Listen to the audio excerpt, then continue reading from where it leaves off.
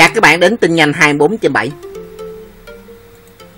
Pin chính thức ra mắt F850Z F750Z 208 với mức giá cả điểm từ là 355 triệu đồng.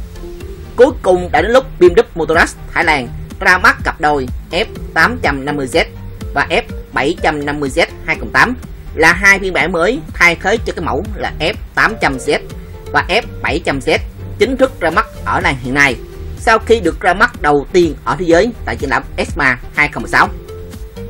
Cái điểm nổi bật trên hai phiên bản là F850Z và F750Z 208 là có động cơ hai xanh hoàn toàn mới, được phát triển từ phiên bản trước đó và tăng từ là 798cc lên đến là 853cc hiện tại.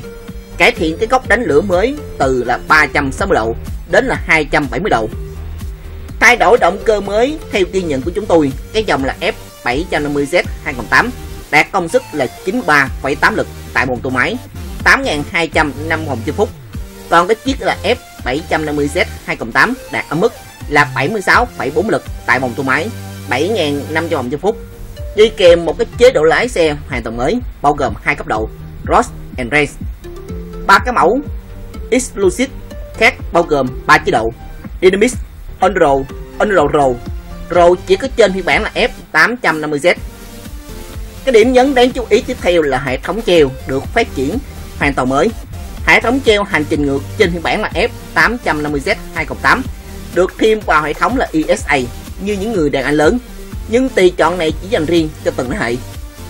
Ngoài ra, các hệ thống điện tử khác như cái đèn flash, đèn hậu, màn hình điều khiển TFT một màu 65 inch đi kèm hệ thống điện thoại Bluetooth Người điều khiển có thể sử dụng cái chức năng này để trả lời hoặc là thực hiện cái cuộc gọi điện thoại ngay khi cả cái phím chơi nhạc cũng có sẵn. Và quan trọng nhất đó là hệ thống ứng phó khẩn cấp, một ứng dụng quan tâm đem lại cái sự an toàn cần thiết cho người cầm lái. Và đây là màn hình hiển thị TFT 65 inch. BMW còn bổ sung thêm một số lựa chọn thú vị dành cho khách hàng bao gồm Keyless Cruise Control, giám sát Apps Club, Reset Ngoài ra có sẵn cho khách hàng gồm Comfort, Turin và Dynamics.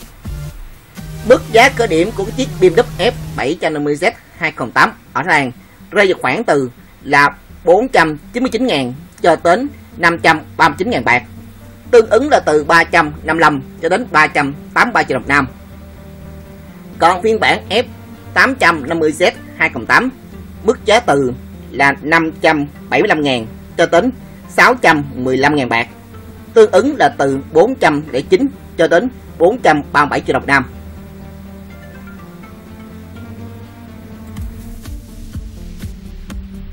Cảm ơn các bạn theo dõi clip này. Hãy đăng ký tiếp nhớ like, subscribe